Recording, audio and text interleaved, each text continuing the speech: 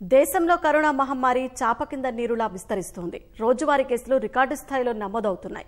నాలుగు రోజుల వ్యవధిలో సుమారు రెండు లక్షలకు పైగా కరోనా కేసులు నమోదవ్వడం పరిస్థితి తీవ్రతకు అద్దం పడుతోంది. దేశంలో ఒక రోజు వ్యవధిలో అరవై వేలకు పైగా కోవిడ్ కేసులు నమోదయ్యాయని కేంద్ర వైద్యారోగ్య శాఖ ప్రకటించింది.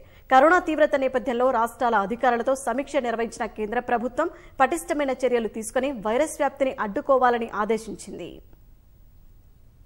దేశంలో కరోనా విజృంభణ కొనసాగుతోంది. కరోనా కేసుల్లో వరుసగా పదిహేడవ రోజు వృద్ధి నమోదు కావడం కలకలం సృష్టిస్తోంది. శుక్రవారం ఒక్కరోజే ఏకంగా అరవై రెండు వేల రెండు వందల యాభై ఎనిమిది కేసులు నమోదు కావడం ఆందోళనకు గురిచేస్తోంది గత ఏడాది అక్టోబర్ పదహారు తర్వాత ఈ స్థాయిలో రోజువారీ కేసులు నమోదు కావడం ఇదే తొలిసారి. మరో రెండు వందల తొంభై ఒక్క మంది మృతి చెందడంతో మరణాల సంఖ్య లక్షా అరవై ఒక్క వేల రెండు వందల నలభైకి ఎగబాకినట్లు కేంద్ర ఆరోగ్య శాఖ పేర్కొంది.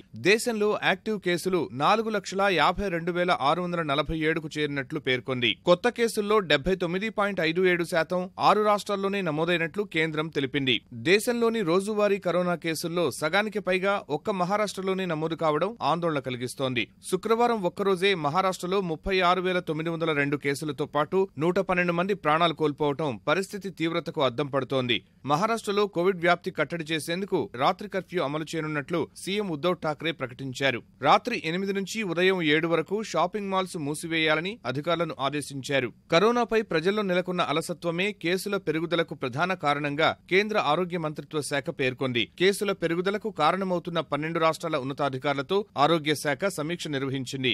కేసులను సమర్థంగా కట్టడి చేయాలని అధికారులకు సూచించిన కేంద్రం ఆయా రాష్ట్రాల్లో పరీక్షల సంఖ్యను మరింత పెంచాలని ఆదేశించింది. అలాగే వ్యాక్సినేషన్ ప్రక్రియను మరింత వేగవంతం చేయాలని దిశానిర్దేశం చేసింది. ముఖ్యంగా కేసులు అధికంగా నమోదవుతున్న పన్నెండు రాష్ట్రాల్లోని నలభై ఆరు జిల్లాలపై ప్రత్యేక దృష్టి సారించాలని ఆదేశించింది. కఠిన చర్యలతో కంటైన్మెంట్ జోన్లతో వైరస్ వ్యాప్తిని కట్టడి చేయాలని కోరింది. వైరస్ సోకిన వారికి తగిన చికిత్స అందించేందుకు చర్యలు చేపట్టడం వంటి అంశాలపై ఆరోగ్య శాఖ ఉన్నతాధికారులతో చర్చలు జరిపింది.